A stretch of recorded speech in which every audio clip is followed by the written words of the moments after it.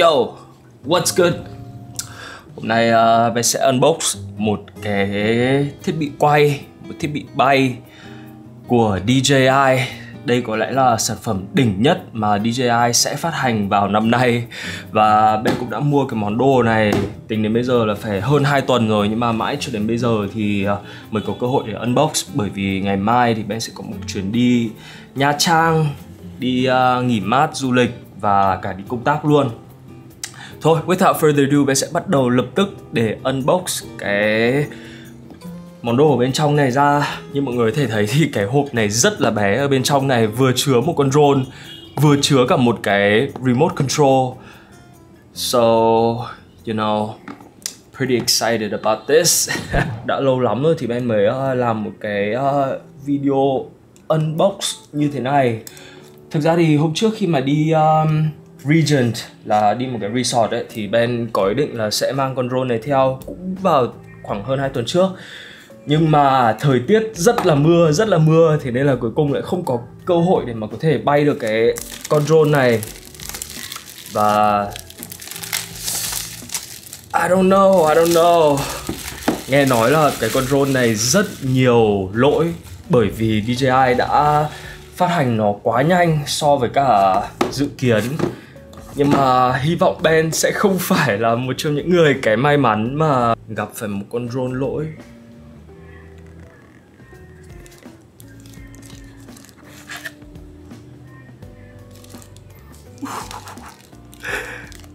Bé dã man.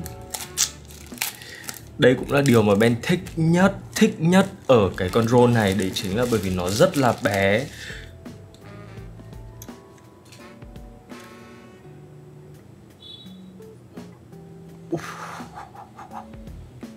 Giác như kiểu giống như một cái món đồ chơi hơn là một cái thiết bị để có thể bay được, tạt gió được.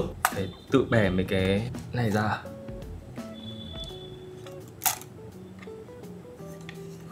Đây là con drone đầu tiên trong sự nghiệp của Ben.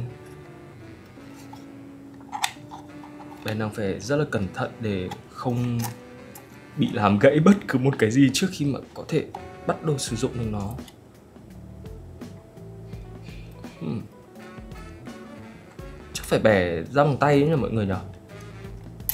À, cái này là bẻ ra như này.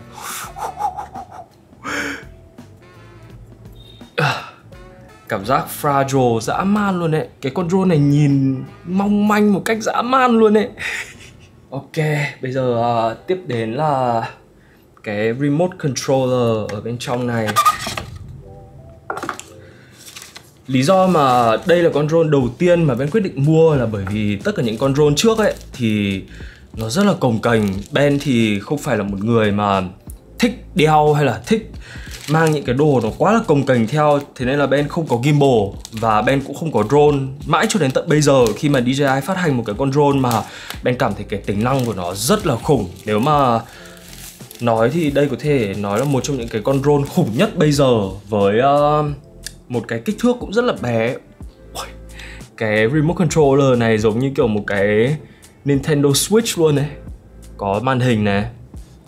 Và man cái cảm giác cầm rất là ok luôn ấy. Tất cả những cái phiên bản trước ấy thì DJI đều làm một cái ờ, controller để mà mình sử dụng cái um, điện thoại của mình. Thay vì là mình điện thoại đâu nhá? Cái điện thoại của mình, thay vì là mình sử dụng cái remote control này, thì nó sẽ có một cái thiết bị để mà gắn cái điện thoại ở trên như thế này này.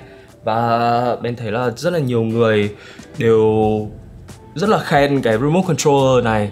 Ở đằng sau này thì có hai cái stick này, cái ờ, cần này để mà xoay vào trong cái remote này. Phải nói thật là Ben rất rất là háo hức với cái món đồ chơi này luôn nhưng mà Ben cũng rất là sợ khi mà không biết điều khiển nó không biết sử dụng nó thì như thế nào. Và đấy đây là cái uh, remote.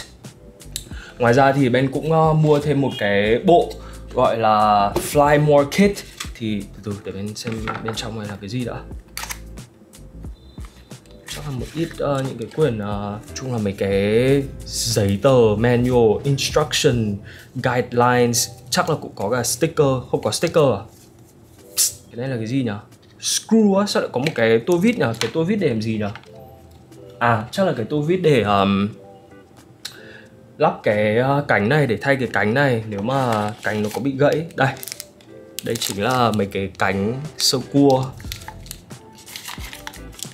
thật sự là Ben cũng đã xem rất là nhiều những cái um, video về con drone này. Bởi vì trước khi mà Ben mua bất cứ một cái gì đấy thì thói quen của Ben lúc nào lúc nào cũng phải là nghiên cứu tìm hiểu rất kỹ về nó. Nhưng mà Ben cố gắng tránh không xem quá nhiều bởi vì nếu không thì sẽ mất cái cảm giác của mình khi mà mình nhận được cái món đồ mà đấy là cũng là một trong những cái mà Ben học được trong quá trình mà làm YouTube. Bởi vì mình rất là hay có cái thói quen là xem quá nhiều review để tìm hiểu quá sâu về nó ấy đây có phải là chiều đúng của nó không nhỉ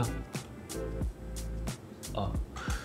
mình kiểu tìm hiểu quá là tìm hiểu về nó luôn xong rồi lúc mà mình mua về ấy thì mình lại không có cái cảm giác quá là hào hứng khi mà unbox nó nữa. Bên trong này là một bộ uh, Fly More Kit. Thật ra thì bạn cũng không cần phải sử dụng đến Cristiano bởi vì ở đây có một cái như thế này có thể bóc được ra và hmm, cái túi này to hơn là những gì bên nghĩ. Ở bên trong này thì có một cái túi gọi là Fly More Kit. Cái túi này ơ oh, bên trong có đúng một cái túi này luôn ạ. Thì uh, cái túi này là túi để đựng uh, toàn bộ những cái này ở trong cái bé nha. Bên nghĩa nó sẽ bé hơn cơ nhưng mà nhưng mà nhưng mà thôi chắc là nó cũng phải đủ. Như này thì nó mới đựng đủ mọi thứ mà nó vẫn có thể đảm bảo an toàn được. Và bên rất là thích cái túi này bởi vì chỉ khi mua cái uh, bộ Fly More Kit này thì mới tặng được kèm theo cái túi này thôi. Nói chung đây là một cái túi mà exclusive. Dành cho những ai mà mua cái bộ uh, Fly More Kit và các cái design element của nó cũng khá là đẹp. Nói chung nó là một cái túi đẹp. Thế nên đấy lý do tại sao mà thật sự là đấy là lý do chính mà Ben mua cái bộ Fly Market Kit này. Bởi vì nếu mà nói ra thì uh, mua từng cái bộ phận một ấy mua từng cái linh kiện một như kiểu là trong này. Thôi Ben nó ờ, mở ra bên trong này cho mọi người biết là bên trong này có những cái gì. Thật ra bạn không nhớ là có những cái gì đâu. Đấy thì ở trong này là một cái túi kiểu chắc là nó sinh ra để dành cho cái này thì nó thể rất là vừa vặn cho cái này luôn đấy. Thì nếu mà mua từng cái bộ phận này này như kiểu là cái uh, cục sạc này và cả những cái uh, pin sơ cua này hình như đây là cách để lấy nó ra đúng không nhỉ?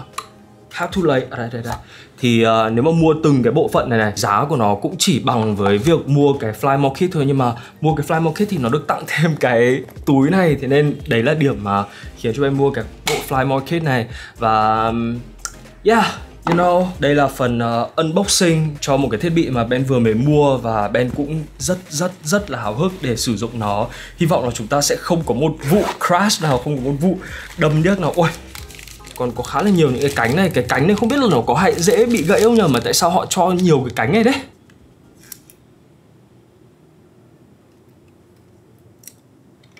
Nhìn cái con drone này mong manh dã man luôn đấy.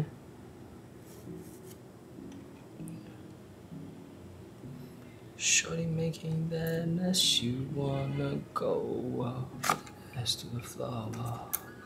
Để mà đánh giá thì bên thấy là cái cái, không phải là chất lượng mà là chất liệu của cái con drone này nó không quá là xịn đâu.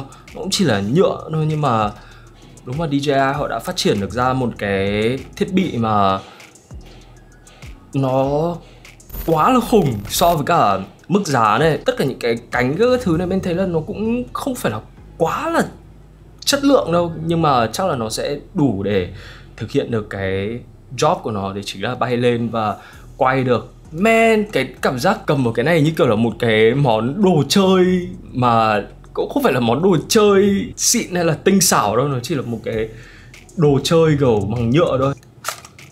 Hmm.